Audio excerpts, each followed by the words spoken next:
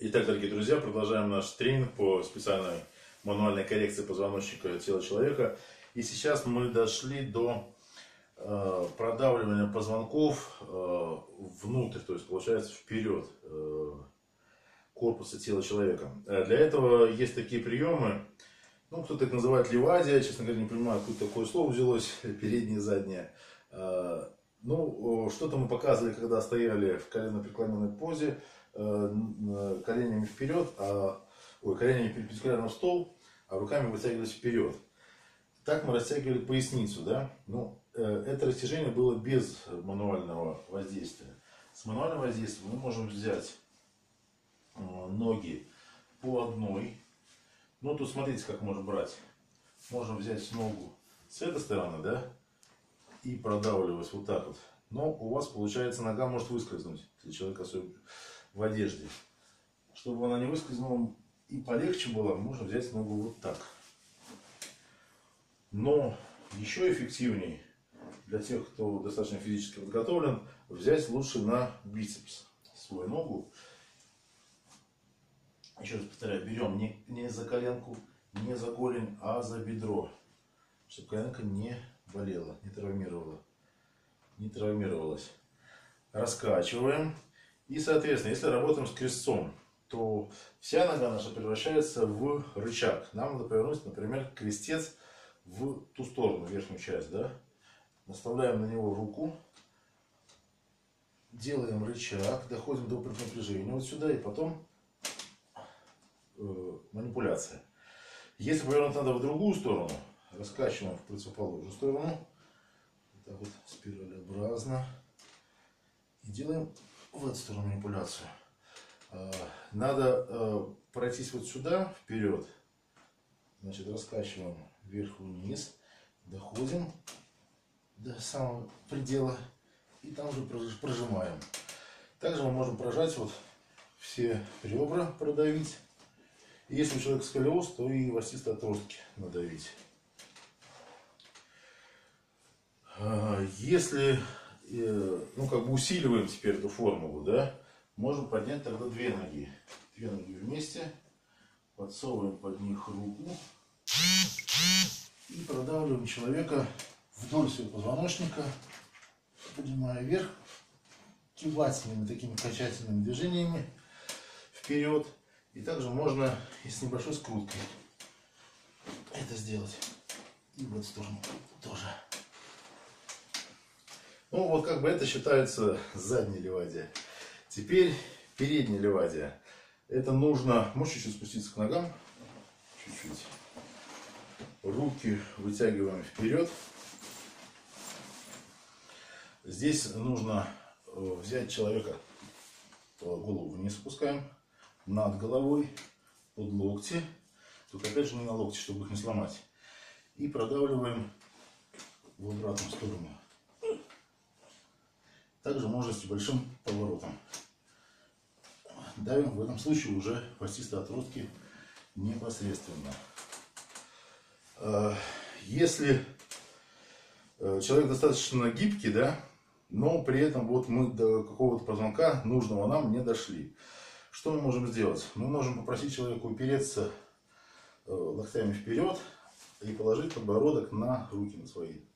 Вот так вот. Продавливаем верхнюю часть позвоночника. А, если не хватает гибкости, да, то можно упереться лбом в руки. Лбом.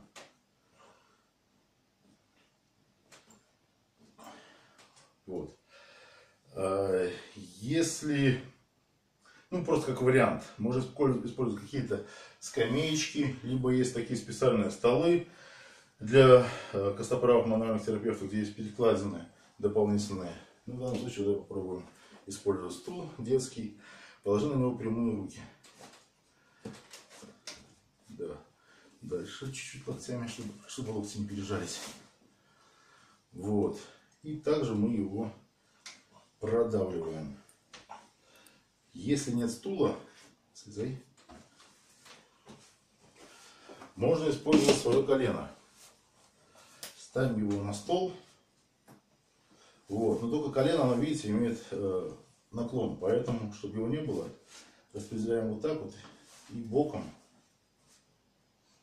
Сейчас, секундочку. Отстегнулись пилюки стриптизера. Вот, чтобы был, была горизонталь в бедре.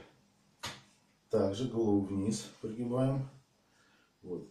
И также вот мы его имеем возможность продавить, либо с поворотом. Снижаем.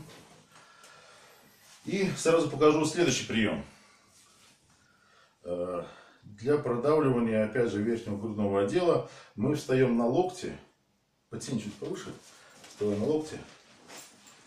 Вот так, все, стоп, стоп, стоп. Тут важно опять соблюсти прямой угол. Здесь прямой угол стол, особенно важен в стол прямой угол. Э, чуть вперед, вперед, вперед. Можно взяться здесь, здесь прямой угол. Локти ближе к себе. Вот. И расслабь плечи, расслабь, голова висит. В данном случае голова просто висит. Мы можем протестировать э, шейный отдел и шейно-грудной переход. Также можно прощупать все позвонки, э, чтобы удостовериться, где что не так, или после, наоборот, наших исправлений манипуляций, да, уже встало все правильно. Если лопатки близкого человека, да, не прощупываются, тогда можно просить его локти подвинуть друг к другу ближе. Друг к другу еще, еще чуть-чуть. Вот. Таким образом, здесь все раскрывается, и нам достаточно легко и удобно посмотреть, проверить, где есть искажения, прощупать шею, сами головой не шевели, просим его расслабиться, и щупаем и соизмеряем методом пальпации, пальпируем, да, где какой позвонок стоит не так, ротирован. Это вот э, что мы так щупаем?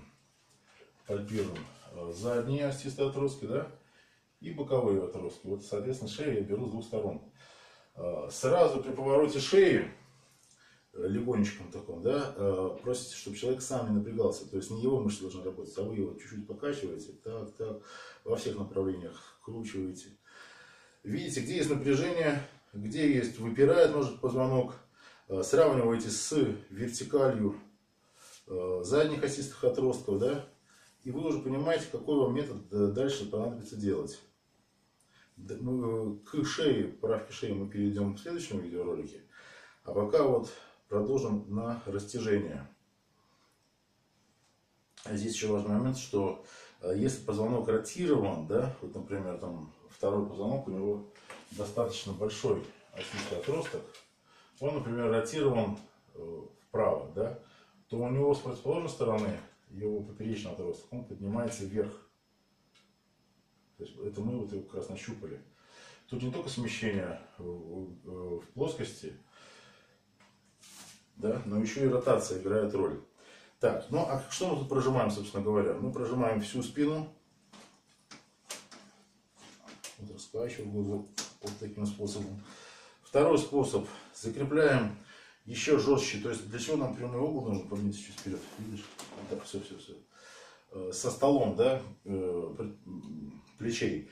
Чтобы э, было на что надавить. То есть это у нас как бы опорный стол получается. Далее своей рукой мы делаем блок, зажимающий его, как ремень в автомобиле, да.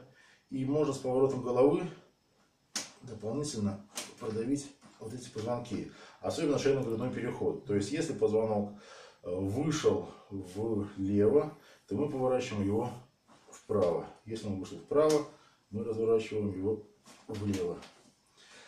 Э, достаточно сложно, но также можно поработать и шеей в это положение.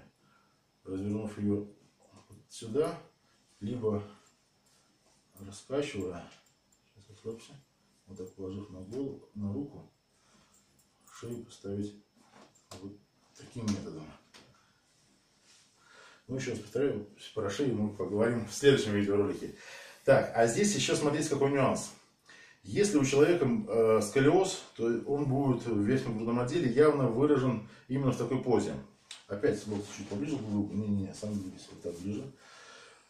То мы, соответственно, можем продавливать, э, как получается. Если сколиоз идет э, вправо, да, то получается э, вот эти, то, то есть с ним же идет и ротация небольшая, да, то поперечные отростки э, позвонков с противоположной стороны, они выпирают. Когда мы давим ребром ладони не на позвоночник, а именно на поперечной отростке с противоположной стороны. Ну, то есть сколиоз mm-hmm. правосторонний давим слева. С, небольшим, с небольшим доворотом. Прижимаем вот так вот. Ну и, соответственно, в противоположную сторону. То есть можно даже с поворотом корпуса тела. Так, ну все, ложись. Мы, дорогие друзья, сейчас это все отработаем. А если вы нас смотрите только на видео, то зря вы это делаете. А, все равно по видео многих нюансов вы не поймете. Тут э, вам нужно поставить руки. Всегда есть какие-то э, эксперименты, нюансы и вот моменты, которые э, мы не договариваем. Не то, что специально не договариваем, они выявляются просто в работе. Э, ваши навыки придут в работе. А чтобы вам поработать, вам надо прийти на наш тренинг, и здесь вам поставят руки, чтобы вы глубже это знали и сразу применяли в жизни в своей работе для повышения своей профессиональной квалификации. Поэтому подписывайтесь на наш канал. Э, меня зовут Олег Алав Гудвин, а еще лучше приходите ко мне на тренинг. До свидания.